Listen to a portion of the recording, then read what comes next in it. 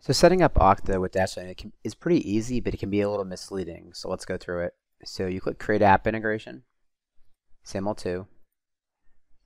And so we're going to call this Dashlane 2 since we already have Dashlane in there. So we upload a picture. Dashlane. Hit apply. Do not display for now. So what you do is you pop over to Dashlane in the single sign-on section. You're going to grab your entity ID and then your single sign-on URL, otherwise known as your ACS, consumer service. So you grab those. You can leave pretty much everything else the same. Hit next. Hit that. So we create it, right? So we've got this portion of things done. This is basically single sign-on is almost done. And the other thing you'll do is you'll set up SCIM. And so what you do is you all you're gonna do is this you're gonna click this button to enable SCIM, which will add that provisioning section. What you want what you do want to make sure you do is go in here into edit.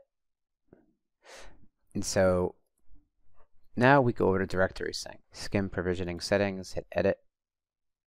And so you see here, you'll have an API, you're to have a SCIM API token, which after you go HTTP header, you're to plop that token in there.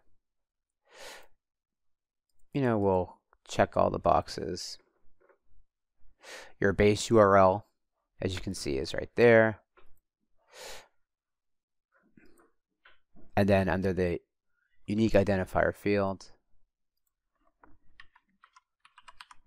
And so from here, you'll just click Save. Now let's pounce over to the one we already have set up. We didn't actually import groups, which is fine. So the the key to this will be is in assignments, you'll assign out the groups that you want to use. So you can see like IT admins, LastPass users, what we're using.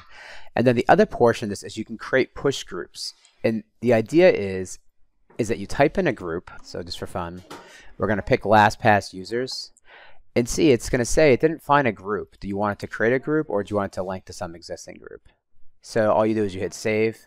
I'll delete this after, but you'll see here it says pushing and then eventually it's going to say active. And then what you can actually do is you can actually unlink the push group and have it delete it. That's good to know in case you don't want them in the future.